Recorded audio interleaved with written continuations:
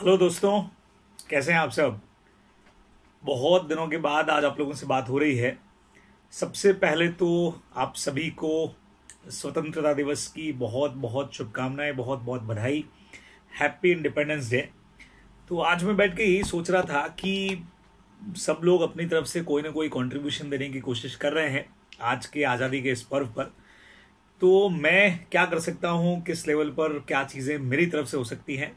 ठीक है, मैं पूरी कोशिश करूँगा कि एक अच्छा सिटीज़न बनने की कोशिश करूँ, यहाँ के जो भी रूल्स हैं उनको फॉलो करूँ और जो कुछ भी इस देश के लिए, मेरे शहर के लिए, मेरे समाज के लिए अच्छा हो सकता है, अपनी तरफ़ से जितना कुछ मैं कर सकता हूँ, उतना ज़रूर करूँ।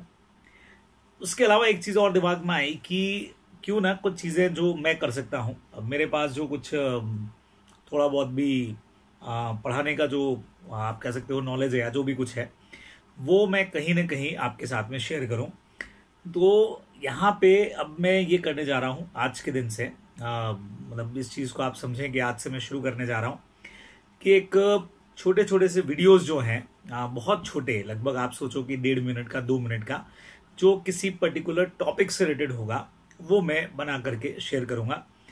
ताकि कई सारी ऐसी चीज़ें हैं। अब उसमें मैं क्या करने वाला हूँ कि मेरे सब्जेक्ट से रिलेटेड यानी लॉ से रिलेटेड हुआ, या ऑडिट से रिलेटेड हुआ। चाहे फिर उसका कनेक्शन किसी भी लेवल पर हो फाउंडेशन लेवल के लिए हो, चाहे सी ए इंटरमीडिएट लेवल पर हो, चाहे सी ए फाइनल लेवल के ऊपर हो तो जो जो इम्पोर्टेंट सेक्शंस हैं, या कोई इम्पोर्टेंट टर्म्स हैं, या कहीं लगा कि कोई नया अमेंडमेंट आया है तो वो मैं और या मुझे जो पढ़ाते हुए लग रहा है कि हाँ भाई, ये चीज़ इंपॉर्टेंट है। और स्टूडेंट्स को इसका एक वाइड नॉलेज होना चाहिए।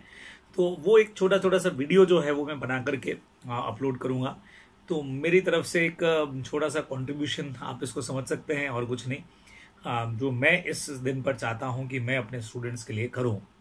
तो बस यही सब कुछ आपको बताना था। एक बार फिर से आज़ादी के दिन की आप सभी को बहुत बहुत शुभकामनाएँ बहुत बहुत बधाई। Thank you.